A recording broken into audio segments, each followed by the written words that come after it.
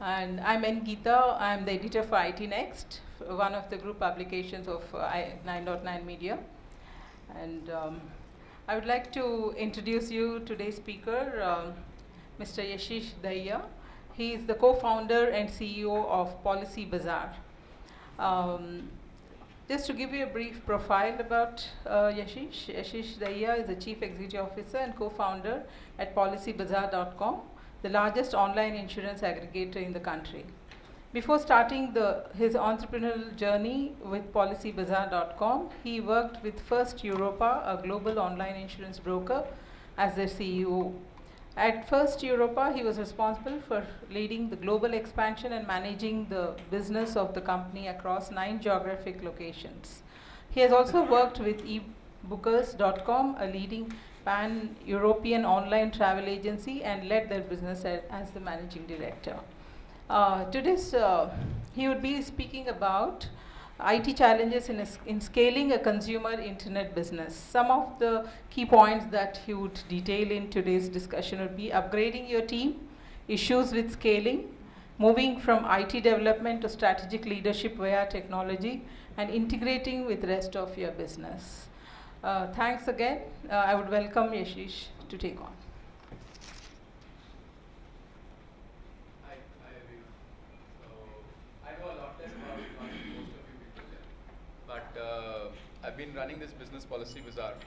And uh, prior to this, I used to run a company called uh. So I, I, I still been trying to figure out what cloud computing is. And uh, if uh, some of you noticed, I was reading up on Wikipedia what it's all about. So we don't we don't do too much on cloud computing, use uh, you know emails etc. over uh, uh, you know over SaaS and we use some of the Microsoft products. But I'll just go through you know what Policy Bazaar is and what challenges we faced. And hopefully run through that pretty quickly so that we can have uh, a more interesting conversation post that. Uh, okay. Maybe that makes me a bit louder. Uh, so I'll, I'll, do two things. First of all, let's introduce Policy Bazaar and uh, what the business is about. And uh, second, uh, go through you know what are the challenges we personally faced as we went through this journey over the last five years with Policy Bazaar. So you know, there are about uh, 50 odd insurance uh, companies in the market, and uh, the consumer tends to get a bit confused by what's right for him and what's not right for him. And uh, essentially, all we do is we, you know, put all of these in a in a rank order, basis basis certain mechanism. The customer finds value in that, so he comes to us essentially to see these quotations. That's that's the primary business of an aggregator. Uh, something very important, and I think something which is uh, misunderstood uh, by a lot of the industry. Uh, if you look at these two uh, you know, columns, this one is where the insurance retail industry is, and this is where aggregators of the business are. These are the kinds of products that are sold. So what you see here is something like a pure term. So these are products which are more utilitarian, which are more consumer friendly, whereas the red one you see is the most consumer unfriendly product. So the entire industry, basically 80 plus percent of the products that the industry buys, and most of the insurance you guys must be buying, I can promise, are, are pretty crap products. And uh, essentially aggregation is changing that big time. As you can see, those, those products account for only 3% of what an aggregator sells. Yeah? Uh, this, is, this is a fact that nobody's quite got, and I think some of the challenges we are facing is, uh, you know, getting the, getting the industry to understand this. Uh, if you looked at a product like Online Term, I don't know if some of you have looked at that, you know, pure, pure life insurance, which is what a bulk of the West calls life insurance. Uh, there are only 120,000 policies sold in the country in a year, uh, versus about uh, about 30 million policies, no, 3 million policies sold uh, in a in a year in this country.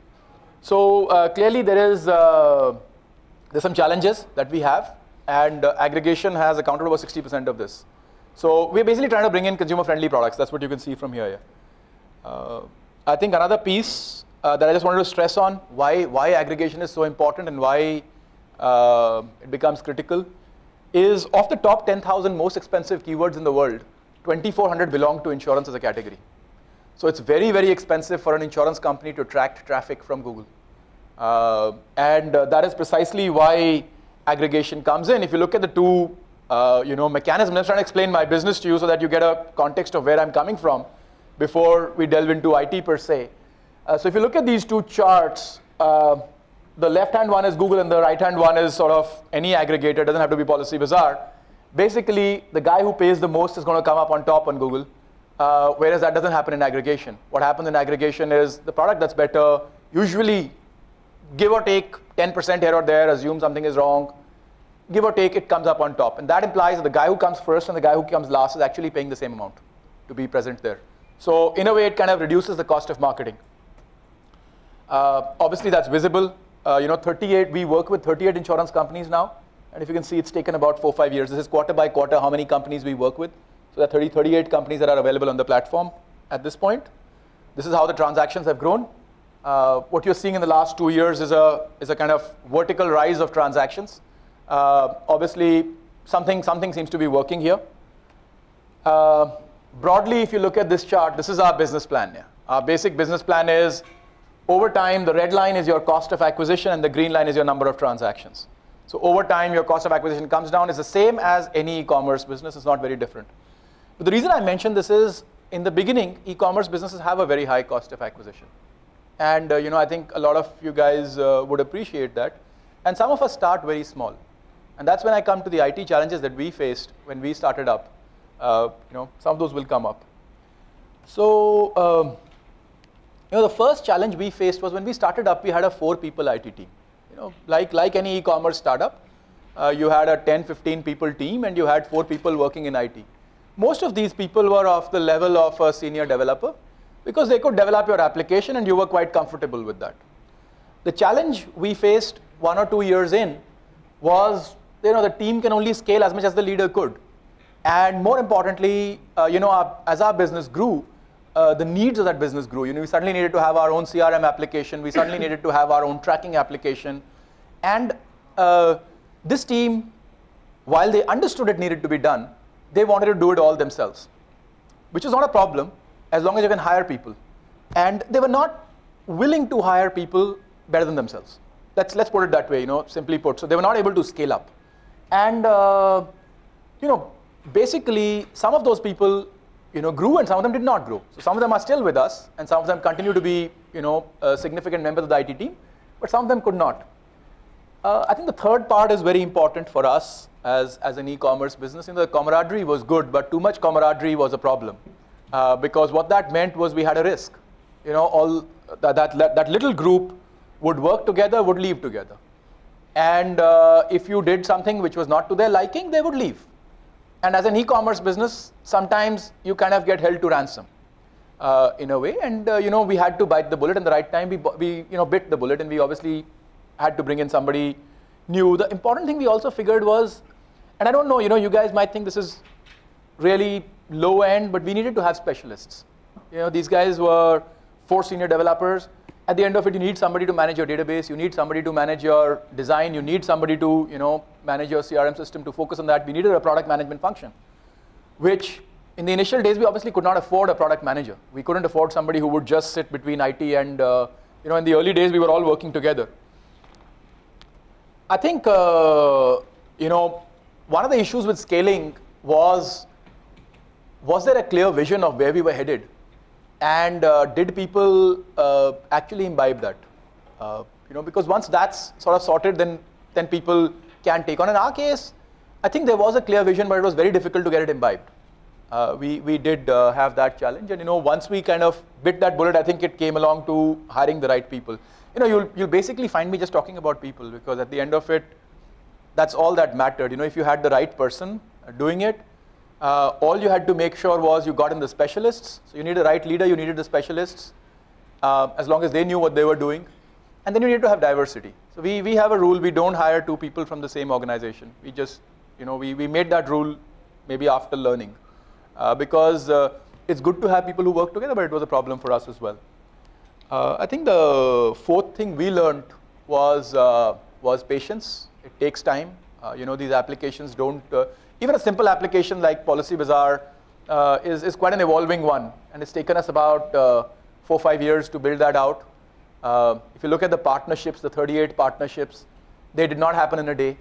Uh, you know, it took a lot of time talking to those companies, getting them on board, getting all the integrations done. Um, a typical integration with a single insurance company took us between six to nine months. So obviously, you know, uh, you need people to do all of this, right? So you, you needed you needed those uh, uh, people, and we had to, you know, the next point was we had to overinvest in aligning to business, because uh, business was headed in a certain direction, and IT was becoming monolithic for us. It was very important that you know if we had a car business, car insurance business, we had some people aligned to the car insurance business. I remember, you know, we reached a phase. This is this is now we've moved on from the first phase, which was, you know, grow your team, get some specialists. At the next phase, we moved on to the car insurance guy says, but you know what, the IT cannot deliver. They understand. So we've got this layer of leaders who understand what needs to be done, but they don't have anybody to actually do it.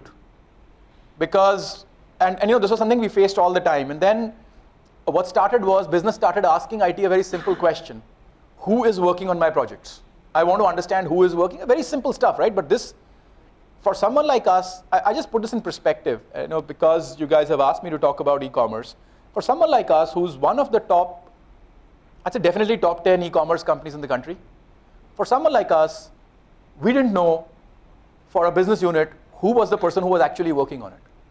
And it's not just us, even the CTO didn't know because uh, he would have uh, one person working on three, four projects. So many times you would go for the car insurance business, he'll say, you know, Narendra is working on it. You go for health insurance, Narendra is working on it.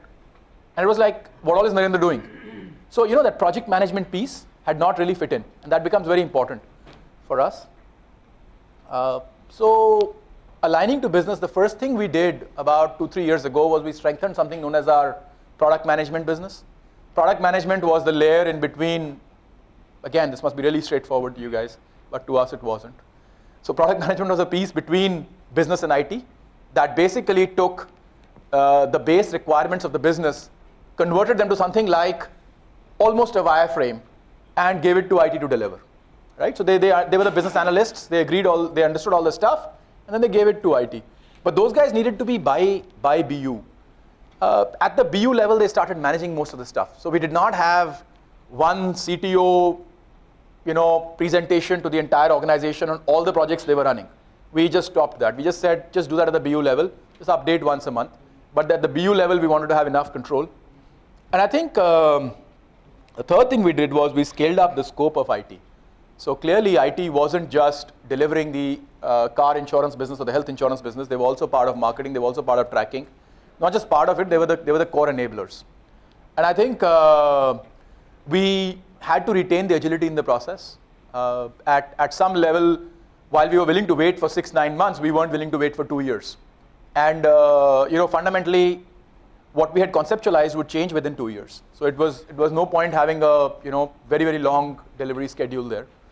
Uh, and, and basically, we broke it down into two pieces. One was business aligned, and one was core. So today, we end up having almost 100, 100, you know, 100 odd people IT team, but they are very well aligned along various businesses. Those businesses know what those people are doing. And there is a core IT function, which is more to do with the database management, infrastructure management, etc., which they continue to manage. Uh, I think increasingly we are starting to use IT as a strategy. Uh, obviously, we are innovating in our industry, but uh, what that implies is insurance companies also need that innovation. So we're starting to now deploy our platforms with insurance companies uh, more on what I believe is the cloud. So essentially, these insurance companies pay us on a pay, pay per use basis. They don't pay anything upfront for the development. They essentially pay us whatever 1% or 0.5% whenever they use the platforms. Uh, so basically, that's the standardization and productization of, uh, of whatever we develop for ourselves is now, is now becoming relevant in the industry. Uh, and uh, obviously, it's become a little error-free compared to earlier when we had a lot of people dependency. Uh, I think it's now core for us as, so there are companies where we give this platform away for free also. So we don't charge them anything into the future. Uh, the primary reason is for us uh, as a leader in the marketplace, it's important that we retain that leadership. And that leadership comes from supplier relationships. Uh, and hence, having our platforms at the supplier end becomes very vital to us. That also allows us better tracking of our business. Uh, and it also allows us to have uh, better conversion rates because we believe our platforms from an e-commerce perspective are superior to enhance conversion. So essentially, there are insurance companies where we'll just deploy it for free. And for an insurance company, this is quite a shock because they are used to spending you know, quite a lot of money building these platforms, maintaining these platforms, uh, and if they just get it entirely for free, you know, there is there is uh, there is there is a value prop there. Uh, and of course, IT increasingly has a potential to lead, uh, you know, our, our strategy. So our CTO does get involved in the strategy side quite a bit now. Uh, but that's that's basically what I had to say. Sorry, it's a short presentation, and I don't know how many of you guys, uh, you know, uh, have a have a keen interest in the uh, e-commerce side. But that's what I had to say. If there are any questions, I'll be, you know, glad to take those. Yes, please. Yes.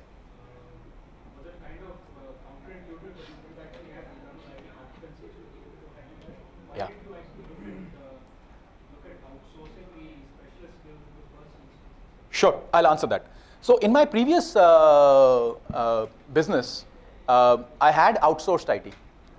Uh, we, we spent about a million and a half pounds. Uh, we got nothing. and and uh, it was to a pretty significant organization where I had people. So I don't believe any e-commerce business. See, when we do e-commerce, our core is online marketing and technology. Uh, it, is, it is the core of what you do, so you cannot really outsource that. Uh, what you get from, uh, and, and one of the reasons, I'll also come to uh, you know, the fact that did we have IT competency or did we just have lack of resources? So the two different uh, pieces. We understood what we wanted to do very well. In fact, when we started, we knew two years out what we wanted. It is, um, we just had a certain amount of money and we had to make sure that our costs never exceeded our, you know, so if somebody, there was this, this, so if you look at an Amazon, you look at an eBay, you look at the top 100 e-commerce companies, they would essentially become specialists at IT. I think uh, they would not outsource their IT. Uh, that I'm fairly confident of. So we, we take great pride in kind of, today if you look at our platform, we've got everything end to end, starting from a online tracking system to uh, uh, the website, which you see, which is just a part of it, to a CRM system, to a database management. It's all our own proprietary system. And uh, now there's great value in having built that because uh, insurance companies, as I said, are increasingly taking onto this system because they just find it, and plus there's a lot of learning that's gone into it.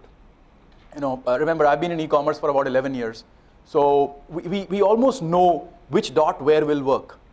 Uh, another thing I would, I would, I would, you know, with, with humility state there are not more than 100 businesses in this world that have ever hit a billion dollars in e-commerce. So uh, I'm talking about gross revenues. I'm not even talking about net, etc. So it's a very specialized skill, and I uh, I do believe it doesn't exist. So I do not believe it exists in the sort of you know uh, IT world. So I do not believe.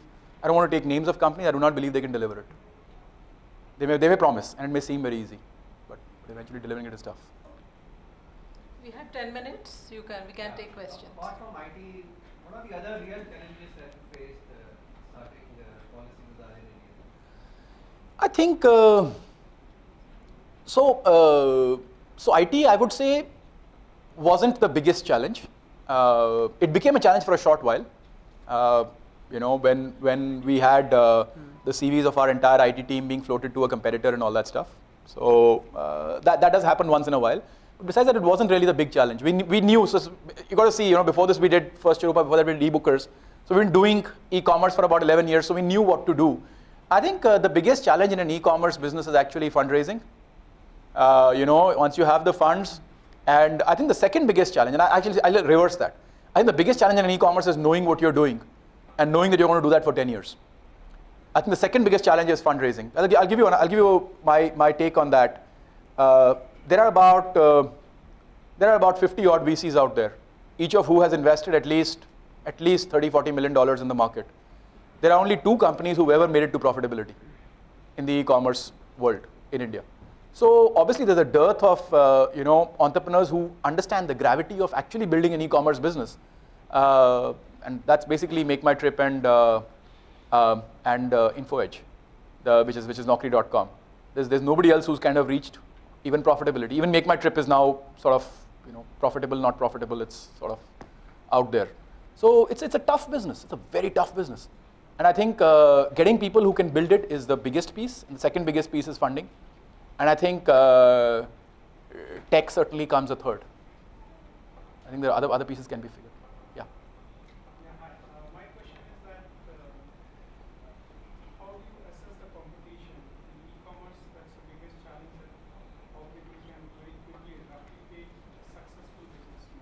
Yes. and there will be large Me-Too similar e-commerce Yeah. businesses. Yeah. How do you see that and how do you counter that? Uh, I think I think in e-commerce, uh, uh, free traffic is see most difficult thing is traffic. The biggest expense is on marketing, and I think a first mover advantage there helps a lot.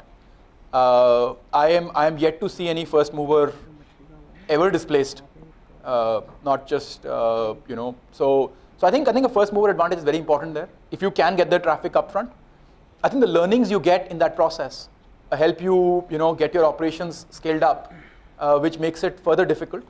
In an industry like ours, uh, where the suppliers are usually slow to move, uh, that's a third advantage that, you know, if you spent four or five years integrating suppliers, if somebody starts today, they would take another two, three years just integrating suppliers. And, you know, usually in doing all of that, usually you die out before you kind of, you know, the e-commerce, it's a heavy investment uh, business.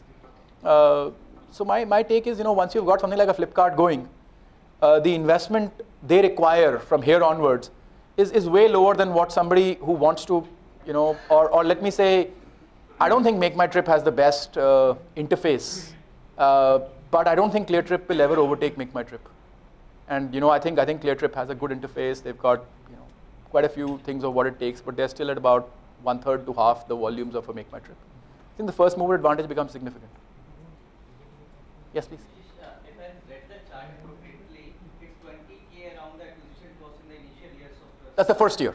first year. Yeah. Today, today we are at about 1500. What are the cost factors have been incorporated? Basically, it's your marketing cost. Or the one, It's basically your marketing cost and your, you know, if you have any fulfillment cost. not the technology cost. Uh, no. So technology cost we keep as a fixed cost for now. Uh, we, we, we see it as, as a fixed cost. When you started this business, uh, were you worried about uh, the bandwidth that's available at your business side, the kind of machining and the kind of browser that you We are, and I do believe, uh, you know, bandwidth would change stuff. Uh, so I think uh, once your broadband penetration becomes significant, it would. But see, I'll tell you why we were worried and we were not worried. The reason we were not worried was uh, we realized a bulk of our, per, of our searching will happen from offices. and offices have decent bandwidth. So while uh, also it's the from an insurance product perspective, it's mostly the male who's searching. You know, he's the, he's the one who goes and buys that. And most of these people are in offices which have decent bandwidth. So so we see a lot of queries in, in that time. Uh, home queries are less, and I think uh, you are right. I, I uh, personally don't even feel our own site is very well designed for uh, home queries yet. So you know, take take that point fully. But but you know, one of the things that I learned again about e-commerce was that uh, it you, you don't do it for tech, you do it for the commerce. So you know, when it becomes important, we would obviously lighten it. But right now, we don't kind of see that. Sorry, please. You said you don't have a cloud setup. So how do you plan to scale your systems in a or a We would like to have a cloud setup. So see, we are we are learning, and we were just talking that it would be good if you know all our infrastructure costs, etc., could move to the cloud. Uh, so we are, we are learning about it. Uh, at this point, we are based out of NetMagic. Uh, sorry, now now Tata VSNL, and all our infrastructure resides there. how do you plan to scale with the increased traffic? You traffic will keep increasing. Yeah, How yeah. do you scale your So uh, currently, basically, it's with uh, buying more and more hardware and with making our applications more efficient, the lighter. I think more on the latter side than on the first side. The first side I just said as a defeatist comment. Uh, but I think, yeah, it's, it's mostly going to be by, by kind of lightening the application. We'd be delighted to move on to the cloud at some point. But I think now we have to see, have, are we already over-invested in what we have uh, versus, versus the alternative? We don't know. We don't know the answer. But then there is some time lag, right? Because There will be. takes time to Yeah, yeah. Either of these two. Yeah, yeah, they would be. There, there would certainly be. And I think most businesses that already exist are thinking about, you know, how do they do it? Do they do it move application by application, or how do they manage this entire transformation? Certainly makes sense. There's, there's no doubt about that. Suppose uh, you want to start a new e-commerce venture. I won't.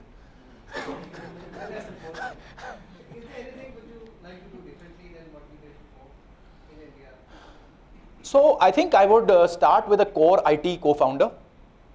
I, so just to, just to give background, I don't think it became very clear. I was the CTO of eBookers, but I was a CTO from a business perspective. Uh, I, I would like to have a core IT co-founder with us rather than somebody who's, who's, who's a business person but also understands technology. I would like to have somebody who understands who, who's a technology person but also understands business. So I would like to have a co-founder of that sort. I think that's, that's the core uh, change I would make uh, because today I feel our CTO may not have enough equity in the business. And I would like to have that change. I'd be delighted if he had you know, as much as I did uh, because that would change things quite a bit.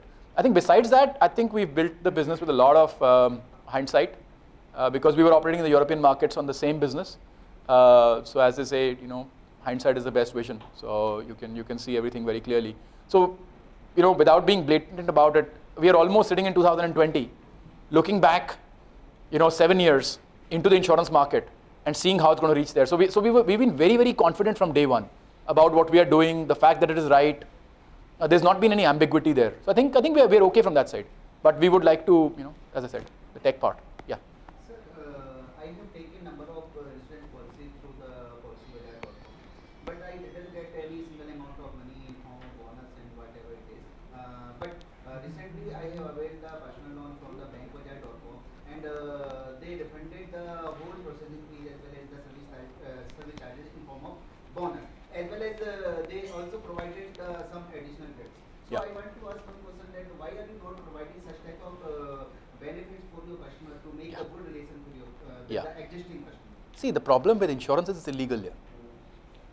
So if we were operating in loans, we could do that. Or if we were operating in travel, we could do that. In insurance, any kind of bonus, any kind of incentivization towards purchase is illegal. Uh, it's just not, it's not, just not authorized. So if I were to do that, you could take me to court. So if I, if I gave you like even a microwave or you know, anything, you'd take me to court. You could. And uh, you know, the idea is, so insurance is a very regulated uh, sector. That's, uh, that's the problem. Yes, please. When you started this venture, as per your project how many years you been profitable? If you've not been there, and what are the key things that are keeping you from there? So remember I said something about uh, there just being two companies that have become profitable, yeah. Yeah. So we've been uncanny in that, yeah. So exactly the revenue we projected and exactly the profitability we projected, we are hitting exactly that. So we're not off by more than 5% on both. And uh, I can almost say year by year, every year, we've been doing that. Uh, so business model changes, everything changes, but our numbers stay exactly the same. So that's, you know, I don't know whether it's, uh, you know, we plan too low or we plan too high, but, uh, but that's, that's true. But I think that comes with a lot of experience. Remember, I have done two e-commerce businesses before this. So I think if I were to do the third one, I'll be able to predict quite well what's going to happen. Or the fourth one, you'll be able to predict even better. But the first time, it's almost impossible to get it. You know, there's, uh, there's no way you could get it the first time. Or, or you have to be extremely lucky to get it. So I think we've been, we've got, Seven plus years of gestation period for Jubilee and we, we've broken even now. So uh, we, we have broken even, but it's a you know limited break even. You kind of break even for two months, and you make a loss for us for a month, then you break even again. So it's not something that I would kind of uh, you know write home that we're out of the woods yet. But uh, or or there are parts of our business which we do. Uh, see, we've been taking bets step by step. There are parts of our business we would rather not do, but we do them for revenue. Uh, so we have an inquiries business which we'd rather not do, but we do it because you know currently it makes sense from a revenue perspective. Uh, we want to get rid of it, so we'll get rid of it whenever our profitability becomes, becomes comfortable. But we're at that point. You know, step by step, we are kind of making it a better business.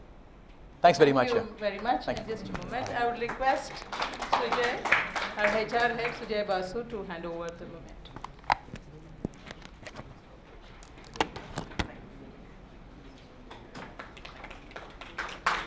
Thank you, everyone.